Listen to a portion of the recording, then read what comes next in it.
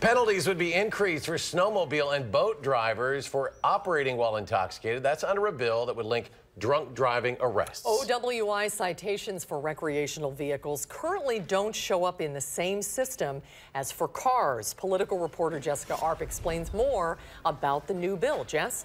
Well, this bill, which was also tried at the Capitol a few years ago, is aiming to send a message that drunk driving while on a snowmobile or an ATV is just as serious as in a car. It's the luxury of living in Wisconsin, being able to boat and snowmobile within a span of months.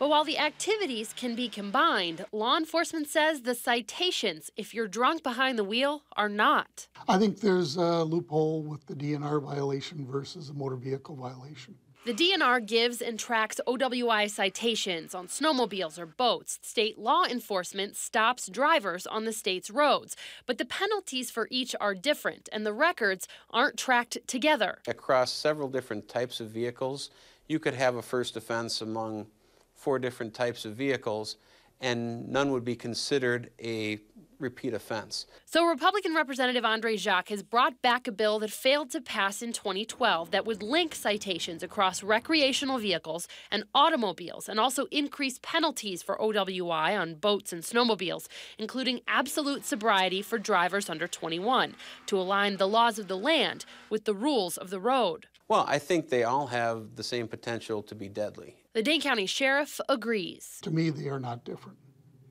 Driving a motor vehicle whether it's an all-terrain vehicle, a snowmobile, or a boat, is the same as getting behind a thousand-pound car and driving drunk. Now, we asked both the president of the Dane County Snowmobile Club and the Association of Wisconsin Snowmobile Clubs what they thought of this bill. In both cases, they said they had not taken a position on the bill at this point and would be talking with their organizations in the coming days. It's unclear, though, the future that this may have in the legislature in 2012. It didn't even get to the point where it got a vote in committee. We'll see what happens this time around. Jessica Arp in the newsroom tonight. Thank you, Jess.